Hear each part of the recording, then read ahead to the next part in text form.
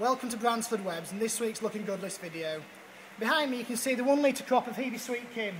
This is where a couple of weeks ago we were down in the glass house and you can see they set up the potting machine and they're ready to go. Well this crop's now potted and growing away happily and this will be sent out into garden centres around February time next year as it's filled out the pot and it's got its lovely pink growth on the tips that develops in the cold weather. You can also see on this crop that we've got some biological control. Where possible, we try to use this at Bransford, help maintain a healthy environment for the plants to grow and reduce any harmful pests. This control is actually a joint control to affect both um, red spider mite and thrips. And this will be kept on the crop for some time now, and as you can see in the background, we've got the yellow sticky traps just to monitor any harmful pests that may be in the crop. So, on the Looking Good List video this week, First of all, got a lovely crop of 2 litre Viburnum Eve Price. Already budded up early for this first time of the year, I know, but it's budded up, looking nice. 2 litre pots, healthy plants. Our Rebecca collection still going strong.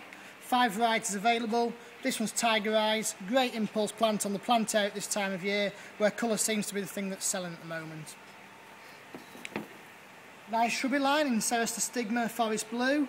Plenty of bud on there, flowers, something different this time of year. Nice three litre pots full. Our euphorbias are still online. We've still got Ascot Rainbow and we've also got Redwing. Silver Swan and Whistle It'll only be a couple of weeks away before they're ready. Also, shrubby line of Lonicera Hopleys. Lovely foliage for this time of year. Great garden plant, semi-evergreen shrub. Online in a two litre pot. Gaura Passionate Pink's getting bigger and bigger by the week.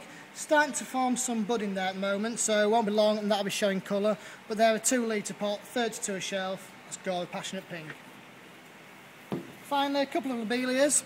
We've got Lobelia Sparkling Ruby and Lobelia Hadspen Purple. Both 2 litre pots, both very chunky plants. Just starting to show some bud now, and we'll have colour on them in the next week, going out into garden centres over the next fortnight.